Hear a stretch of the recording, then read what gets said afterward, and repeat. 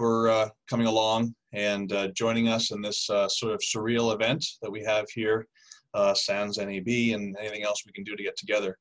Uh, but we had a lot of things planned for NAB, as like we do every year. Uh, Facilis Technology being a shared storage company, working a lot with with networking and and supporting the broadcasters out there in the field today, which is why I'm able to come into the office and and help our customers sort of still produce content that's needed uh, for for worldwide consumption.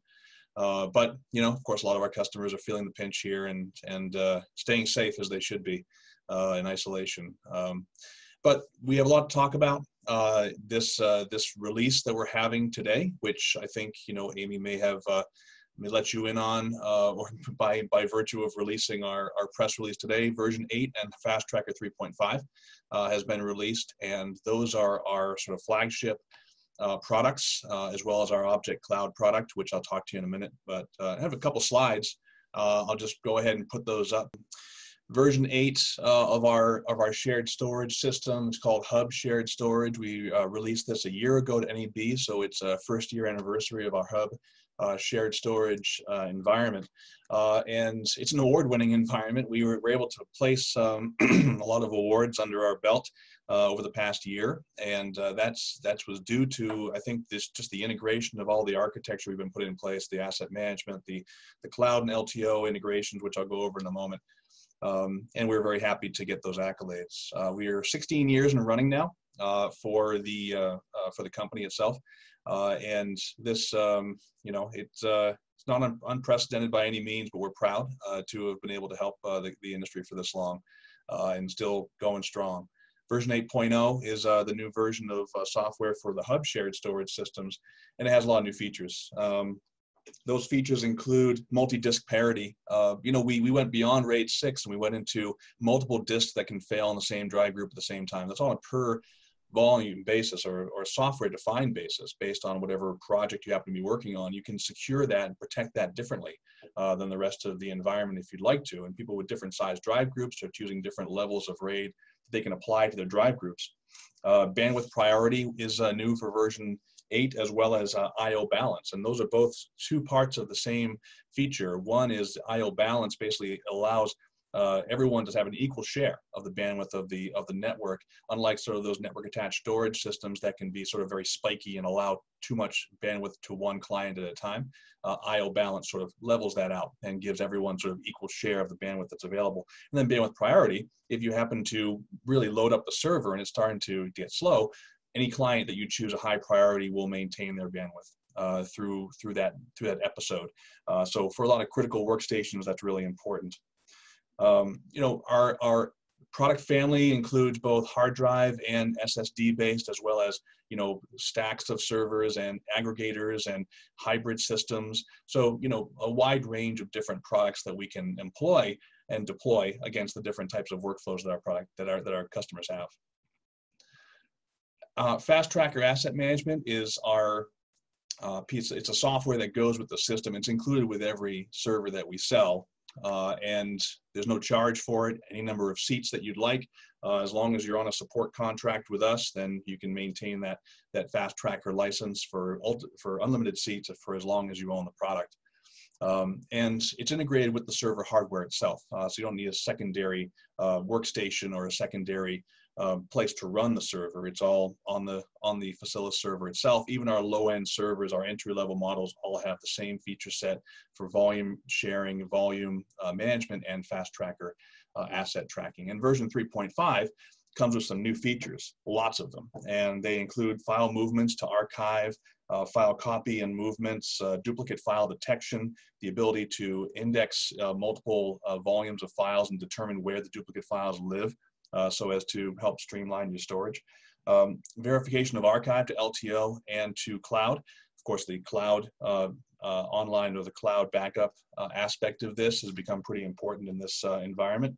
And we can restore directly to the desktops through prefetch to the, from the cloud or LTO directly through Fast Tracker. So it's grown quite a bit in the past couple years, and the interface has gotten really elegant, and it's it's really a pleasure to use, and it's very very fast fast tracker means that you know searches happen very quickly assets are available very quickly for you to use and that's really the intent of, of, of the software Um, Object Cloud, Object LTO, this has you know, been of particular interest uh, to our customers over the past month or so.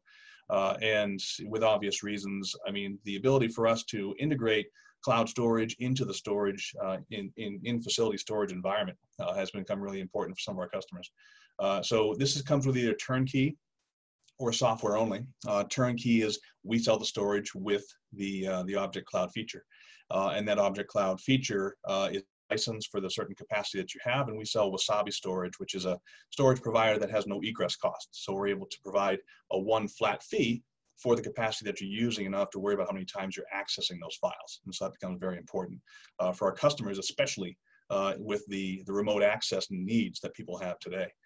Um, integrated with the server hardware, same as Fast Tracker. It's there on the server. It doesn't require any any any secondary uh, location to run. It's all being run from the Facilis server itself, and we've optimized the server hardware, processor, memory to to allow for these things to happen. Uh, you can restore right to the desktop uh, through Fast Tracker or just through drag and drop out of the virtual cache volume. Virtual cache represents everything in the cloud and LTO in one location. All the files and folders are there.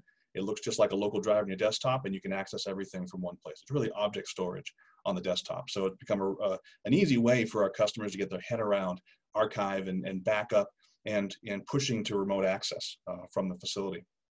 Uh, and I can control all of the functions in Object Cloud through Fast Tracker itself. And Fast Tracker has the integrations and the APIs uh, for Object Cloud so that everything can be done from there, your file groups and, and different uh, retention rules and things like that that you can add uh, for the disk cache.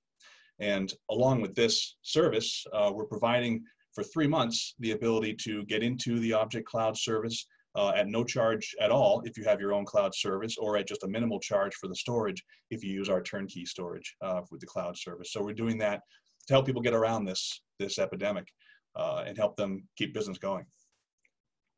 So one thing that we're announcing for uh, Q2, which you know we're in Q2, uh, but we're thinking more like May, June timeframe, uh, is our Facilis Edge and our ability to have a remote uh, multi-site sync so that synchronization can happen at your home or at a secondary location outside of the main facility uh, so that a drive on your desktop at home can represent everything that you've cached in the facility and it's all there. It's not, it's not there until you need it, which is the nice thing about sort of cloud caching, uh, but it uses a cloud intermediary to get the data to your desktop at home or to the secondary facility. So that's really the, the intent of this is is to come out with something that turned out to be necessary way ahead of time. And but we think really it's going to be for the times ahead. I think we're going to see this happening for a long time to come, and people are going to get used to the idea of remote editorial and remote working. Um, and we're set up perfectly for that because we can act as a cloud caching server, which is a very fast and capable server remotely in the LAN and also serves as your portal to the cloud and to the remote uh, locations for your clients. Um, you know, Facilis, uh, having been doing this for 16 years, we've seen just about every type of, of workflow out there. And I think some of the trends that we're seeing, you know, notwithstanding the remote access um, activity that we're seeing today, has been more movement to cloud, uh, has been more movement to, to portable workflows. And we're adding Fast Tracker to a lot of our current customers because Fast Tracker innately has the ability to proxy and, and create preview files for high res material. And a lot of people are seeing that, well, if I want to take things home with me, the first thing I need to do is make them smaller. Or if I want to access them from the wide area network, I need to make them smaller. Uh, so the idea behind Fast Tracker, just in its it, one of the functions that it does, is that everything indexes, you can automatically have it create a uh, proxy file, which is a lower bitrate, 4K to HD, uh, HD high res to HD low bitrate, H264, and it has the same exact path and the same exact extension and file wrapper as the original file. So very easy to link back and forth between high res and uh, lower bitrate media for people who want to start the project in facility and move it externally or even start remotely on proxies and then be able to move it to a finishing phase. Because the big problem right now is that people can't easily finish on a remote workstation because they don't have the hardware, they don't have the, the color space set up, they don't have everything they need for finishing tools at home. So they can do the bulk of the work there and then still isolate back in the facility uh, to perform that finishing. So we like to enable that for our customers and it's been pretty successful so far. Great. Thank you so much, Jim. That was great. I've got a couple of questions uh, for you. How easy is it for current users to upgrade their current Fast Tracker package to the new one that was released today? Um, the Fast Tracker package uh, is it's it's really the simplest thing we do because if you're running a Facilis server, uh, you you already have the ability to to run Fast Tracker, um, and just by loading it onto the system itself, it will just take over from where you had. Your database would be upgraded. Uh, the only thing that, that that's new about the Fast Tracker 3.5 is its duplicate file detection is based upon what it's indexing now because it does a hash for every file that it indexes, and because of that, it, it's able to tell if the file is the exact same file as the one it had indexed previously. So we're telling a lot of people that, you know, if you can hold off for another couple days, you know, another couple weeks if it were last month, um, get on 3.5 to start. That way, everything you index will be capable of the duplicate file detection, uh, and it'll help you manage your storage a bit better. But otherwise, you know, everyone who has a current license uh, for Fast Track or anyone who has a current software support contract, any customer of ours can upgrade to Fast Tracker 3.5. Great. And then just one last one to finish. How are you enabling secure access to in-facility assets through cloud workflows? We have a, a couple ways to do that, and we've uh, sent out some information uh, widely to our customers about this. Um, you know, we're we're not trying to market on the back of this thing. We're just trying to make it easier for our customers, and they're really coming after us about, you know, how do I get access to all my facility assets inside uh, the building. Uh, VPN has been a popular way to go, and we are uh, set up to work within a VPN environment. Uh, the software itself that manages the mounting of the volumes and access to the volumes is set up so that it can route through a VPN and across different IP ranges to get access to those volumes to be able to mount them right on your system at home. Uh, so if you do have, you know, a software editorial system we're running at home, or if you've even brought home your your PC or, or Mac to be working from home, you'll have those same volumes in your desktop. Now, the performance of that isn't always great. It really depends on a lot of factors, and that's not something that we can really help much with because it's your mm-hmm. facility. But we can also help with the cloud aspect of it. And secure aspect, secure access to cloud assets is, of course, what we've been doing for the past year with our Object Cloud feature. Um, and that's helping a lot of customers because they're telling us that it takes less time for them to upload and download from the cloud to home than it does for them to copy the same file over VPN. Just just the way that, that it works because there's acceleration on the way up, there's acceleration on the way down uh, of those assets, and that's all incorporated with the Object Cloud feature.